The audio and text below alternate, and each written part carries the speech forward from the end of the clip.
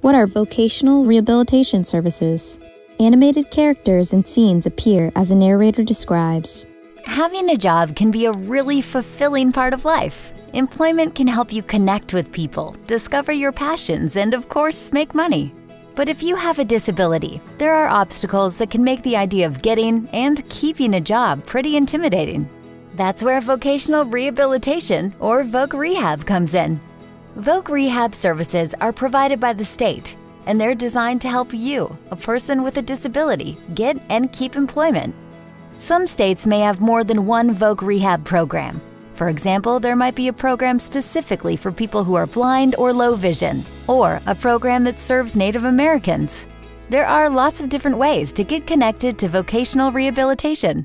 If you receive disability related services in high school, your school might connect you to VOC Rehab as part of a plan to help you transition into adult life. You can visit the website or contact the VOC Rehab program that serves your area. You can also get help connecting with VOC Rehab services by contacting your state's Protection and Advocacy Program or Client Assistance Program.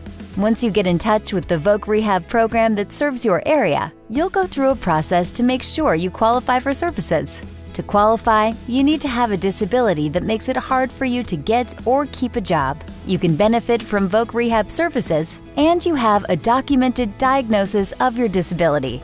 If you don't have a documented diagnosis, VOC Rehab can refer you to professionals who can help determine if you qualify for services. Every VOC Rehab program will have requirements and deadlines, so it's extremely important to keep track of key dates. For example, you may be required to check in with VOC Rehab staff a certain amount of times per year, or submit documents by specific dates. If you qualify, what do VOC Rehab services look like in action? First, you'll be assigned a counselor. Your counselor will help you develop an individualized plan for employment, or IPE, which will outline the help and services you're going to receive. The goal of the plan and VOC Rehab services is to support you in getting and keeping a job. VOC Rehab can help pay tuition at trade schools, community colleges, or universities. And they can help with services to succeed at a job like a job coach. Or they can help you get assistive technology that could include screen reading software, car modifications to get to and from work, and hardware like a laptop or printer. If you don't feel like you're being properly served by your VOC Rehab program or one of its service providers, you have the right to appeal, but be sure to file the appeal by the deadline.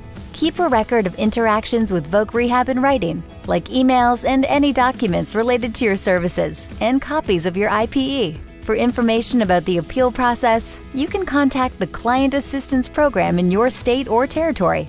So let's review. If you're a person with a disability, you may qualify for vocational rehabilitation or VOC Rehab services. They might provide services like job coaching, assistive technology, or funding for school or training. Every VOC Rehab program will have requirements and appeal deadlines, so it's extremely important to keep track of key dates. The goal of VOC Rehab is to support you in successful employment, both getting and keeping a job. For more information, contact Disability Rights Florida at disabilityrightsflorida.org or by calling 800 342 0823.